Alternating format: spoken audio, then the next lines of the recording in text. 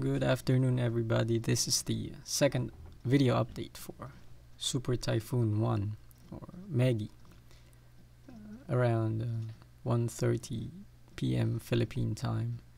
And uh, as I speak, Juan is making its landfall. Or actually, half an hour ago, Pagasa on their Twitter account posted that uh, Super Typhoon Juan made landfall somewhere in, in Divilacan, Isabela. That's half an hour ago.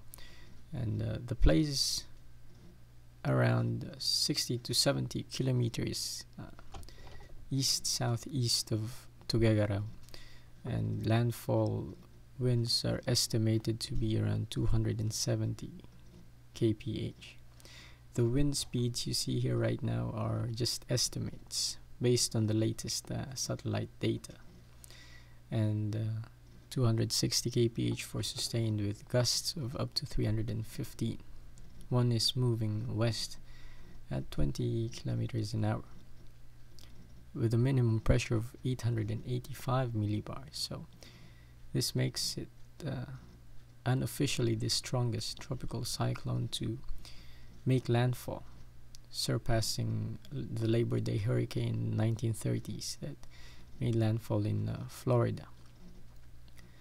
It's unofficial because uh, Pag-asa doesn't have any weather stations near Typhoon Juan. The closest they have, as far as I know, is in Tuguegarao, which is about uh, 50 to 60 kilometers south of uh, where Megi is right now so they probably won't be seeing or getting very low pressure readings there. And besides the 885 millibars is just an estimate from uh, the JMA from uh, the Jap Japanese Meteorological Agency. And anyway Pag-asa's raised uh, signal number 4 in a lot of provinces Cagayan, Isabela, Kalinga, Mountain Province, and Ifugao. Signal number 3 in Babuyan Group of Islands, Calayan Group of Islands, Northern Aurora, Quirino, Nueva Vizcaya, Benguet, Ilocos Norte, Ilocos Sur, Abra, La Union, and Apayao. Signal number 2 for Polillo Island, Nueva Ecija, Pangasinan, Tarlac, Batanes Group of Islands, and the rest of Aurora. Signal number 1 for Cavite, Bulacan, Pampanga, Bataan, Zambales, Northern Quezon, Rizal, Laguna, Batangas, and Metro Manila. So here is our uh, long-term forecast. You can see uh, made landfall somewhere in uh, Isabela right here and we expect Typhoon Juan to continue moving generally west-southwest and uh, weakening significantly becoming category 2 as it exits the island of Luzon uh, somewhere around uh, midnight tonight. And after the third day however uh, weather agencies and computer models still not in agreement as to where Typhoon Megi will uh, proceed.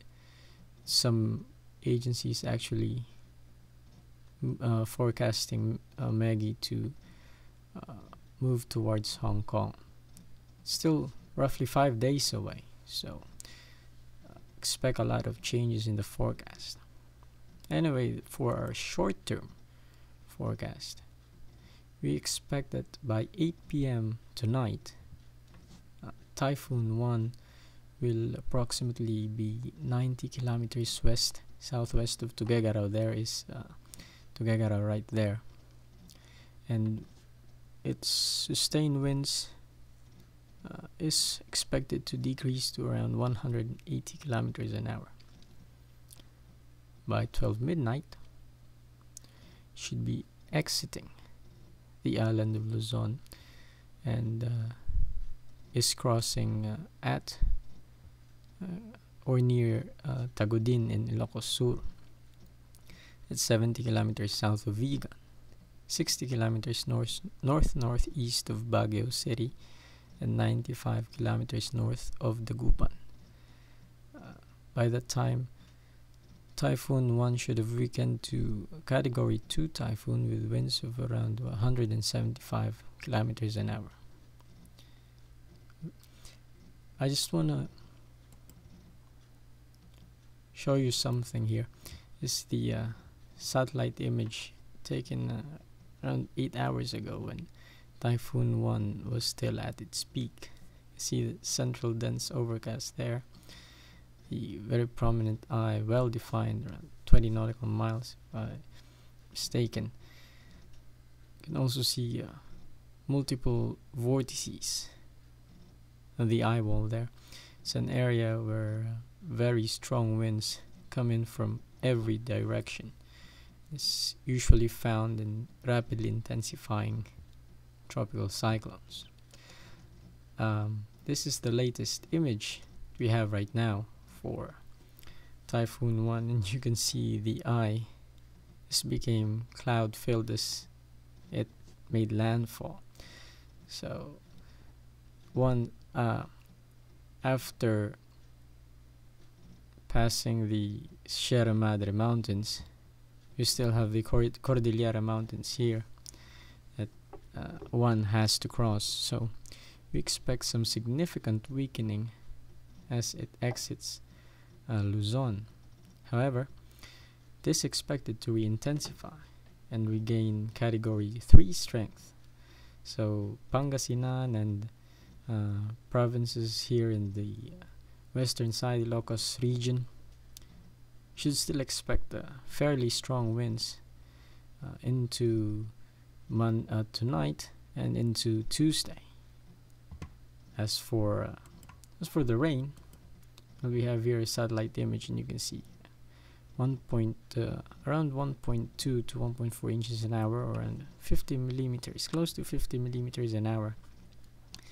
We also have here from the NOAA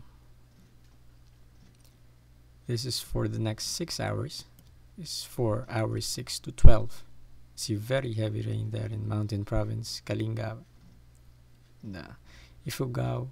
Those are very mountainous areas so expect a lot of landslides and mudslides, as well as flash flooding in uh, low-lying areas. And uh, we expect that to continue uh, as Juan moves into Ilocos and uh, La Union. And uh, expect around 200 to 300 millimeters in isolated areas.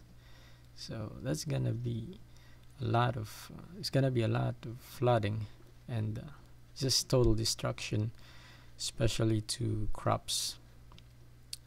And we just hope that you know uh, lives will be spared and that you know, there will be minimal damages. Well this is this is probably it. Uh, thanks for watching. The images we used taken from the National uh, Naval uh, Research Lab of the United States Navy, and the CIMSS, Pagasa, and also NOAA. Also, please uh, visit typhoon2000.com for early updates uh, regarding uh, Typhoon Juan and also Pagasa.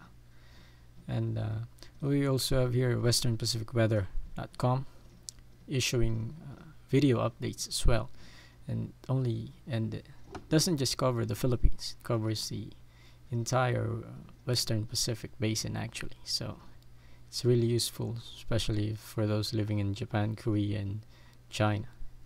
And if you want to talk with other uh, weather enthusiasts and some experienced uh, meteorologists, head over to storm2k.org. It's a forum for, know, dedicated uh, people uh, that are monitoring the weather. And that's about it for a second video update. Thank you for watching. Be safe.